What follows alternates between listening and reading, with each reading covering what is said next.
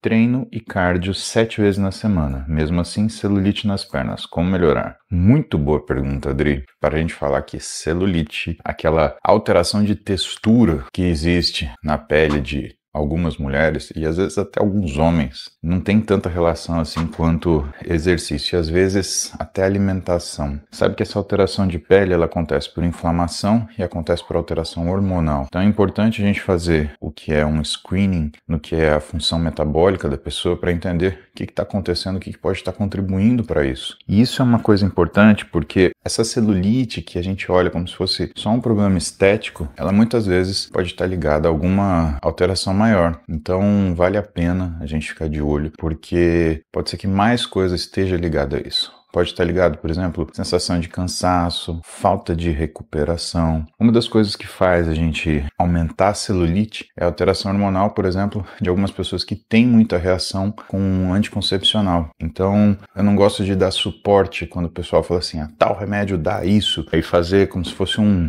um terror, né? por exemplo, no caso de anticoncepcionais. Mas o fato é que algumas mulheres, quando usam anticoncepcional, como existe uma grande inibição da produção de estradiol, estradiol, como existe também o uso de um progestagênio, que é o que faz a inibição da menstruação, ele pode criar uma situação onde facilite o aparecimento dessa celulite. Essa celulite também não é uma coisa aguda, não é uma coisa, por exemplo, se você tem essa facilidade para ter essa reação, você vai começar a tomar um anticoncepcional, pumba, dali uma semana aquilo aparece. Não, é uma coisa mais insidiosa, uma coisa um pouco mais demorada e normalmente quando você nota que isso está acontecendo já é tarde demais, tá? Então a gente precisa fazer uma avaliação um pouco maior.